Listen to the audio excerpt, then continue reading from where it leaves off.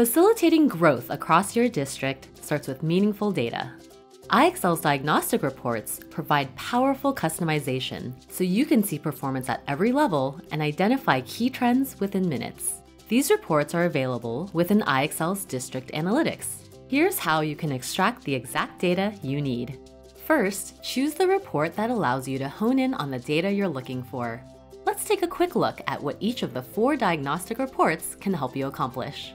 The Diagnostic Levels Report helps you quickly identify students that are on, above, or below grade level. You can also see which students are within an assessment window or have yet to pinpoint their levels. Now, say you want to dive deeper into students that are performing below grade level. The Diagnostic Tier Analysis Report allows you to identify trends among students within this performance bucket, with the option to group by grade or by school. Want to drill into performance by diagnostic strand? Pick any strand, and the Diagnostic Strands report will show you the average student performance for a single grade level. Finally, for schools conducting benchmarking with a diagnostic snapshot, the Snapshot Growth Report allows you to visualize progress for all completed snapshots in a single school year. Now that you've chosen the report you'd like to view, you're ready for the next step using IXL's advanced filters to extract precise data.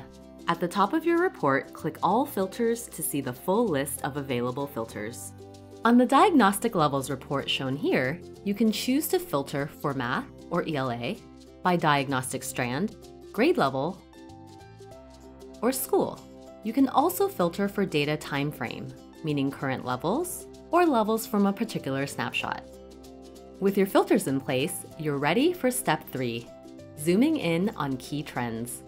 The visuals on each report make it easy to identify students that need intervention, make informed decisions about classroom placements, and assess existing learning strategies. Don't forget to toggle between grade or school to uncover insights at the building level and across your district. And on each report, the results table includes the full list of students who fall within the selected filters. Use the search bar when you need to find a specific student. Now that you've found the insights you're looking for, it's time to export and share your data with fellow educators. Click the export icon at the top of the results table to download and view your filtered data. This automatically generates a CSV file, which you can share with colleagues to facilitate and enhance conversations.